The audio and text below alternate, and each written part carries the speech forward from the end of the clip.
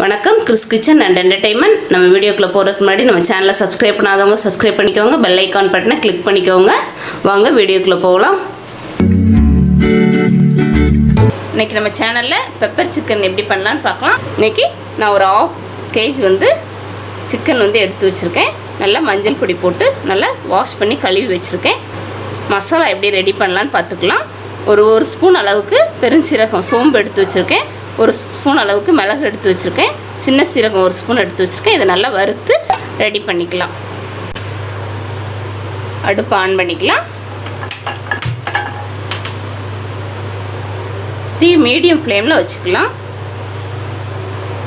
பெருஞ்சீரகம் போட்டுக்கலாம். மிளகு போட்டுக்கலாம். ஒரு ஸ்பூன் அளவுக்கு போட்டிருக்கேன்.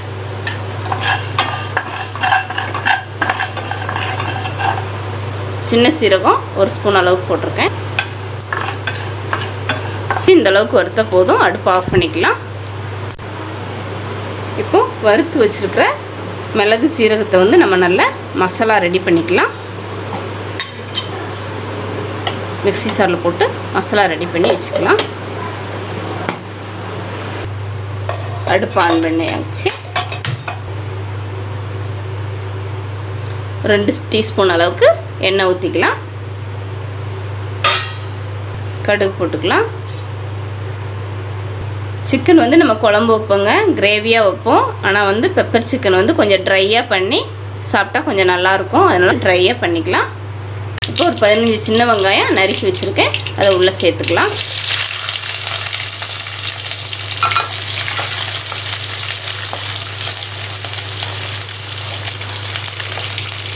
கருவேப்பில் போட்டுக்கலாம். இப்போ வெங்காயம் ஓரளவுக்கு வதங்கிருச்சுங்க நான் ஒரு சின்ன தக்காளியை குட்டி குட்டியாக வெட்டி வச்சுருக்கேன். ஒரு சின்ன தக்காளி போட்டால் போதும்.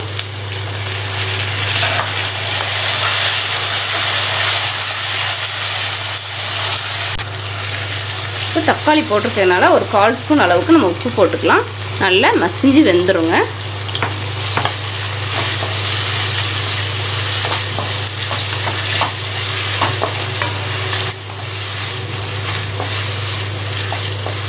தக்காளியை நல்லா மசிஞ்சு வேகிற அளவுக்கு நம்ம நல்லா வதக்கிக்கலாம் இப்போ வெங்காயமும் தக்காளியும் நல்லா வெந்துருச்சுங்க.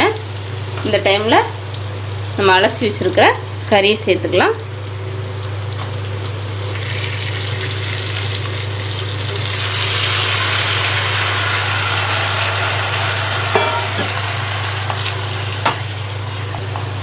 கறி நல்லா வதக்கிக்கலாம். நல்லா எண்ணெயில் நல்லா வதக்கிடணும் அப்படி வதக்கிறப்ப தான் கறி நல்லா ஸ்ட்ரிங்காகும் இந்த டைமில் கொஞ்சம் உப்பு சேர்த்துக்கலாம். ஒரு ஆஃப் ஸ்பூன் அளவுக்கு உப்பு போட்டுக்கலாம்.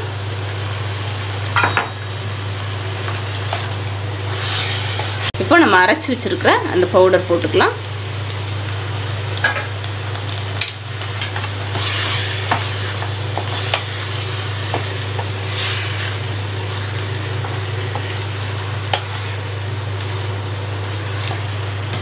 கரம் மசாலா ஒரு ஸ்பூன் அளவுக்கு போட்டுக்கலாம்.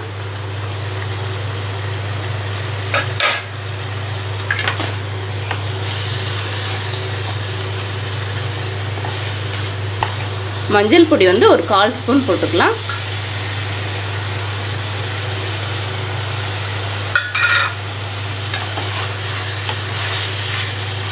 மீடியம் ஃப்ளேமில் அடுப்பு வச்சுட்டு நம்ம மூடி போட்டுக்கலாம். ஒரு டுவெண்ட்டி மினிட்ஸ் நல்லா வேக விடலாம். இப்போ ஓப்பன் பண்ணி பார்த்துக்கலாம் எப்படி இருக்குன்னு. நல்லா எண்ணெய்லாம் பிரிஞ்சு நல்லா வந்துருச்சுங்க. எண்ணெய் பிரிஞ்சு நல்லா கரெக்டான ஸ்டேஜுக்கு வந்துருச்சு. இப்போ இந்த டைமில் நம்ம மல்லி இலை போட்டுக்கலாம்.